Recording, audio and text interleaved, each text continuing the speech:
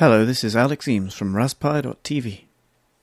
So we have a brand new Raspberry Pi B Plus case from the guys who made Flirc, which is an infrared remote control system. It's a cast aluminium case with a kind of rubberized plastic top which comes off and I'll show you that in a moment. Uh, it's fully enclosed, let's spin it round. So you've got a slot for your SD card there. The back is closed off and you've got your Ethernet and USB ports on that side. If I just lift it off the top, you'll see underneath a red Raspberry Pi B+. The bottom of the case has ventilation holes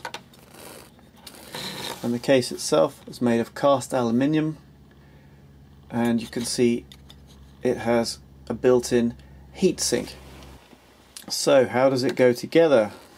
Goes together like this. You put the Raspberry Pi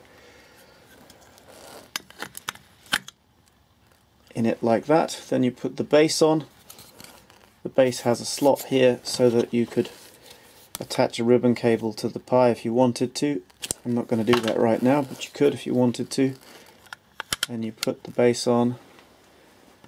Let's just quickly do up the bolts and then you'll see what the whole thing looks like.